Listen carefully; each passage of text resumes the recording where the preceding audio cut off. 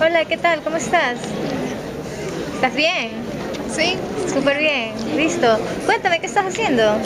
estoy dando análisis numérico. Estás estudiando análisis numéricos. Ese es el examen que tienes hoy. Sí, ¿A qué hora tienes ese en examen? una hora. Wow, o sea que debes estar lista, preparada, listo. Ok, muchísimas gracias, que tengas mucho éxito. Gracias.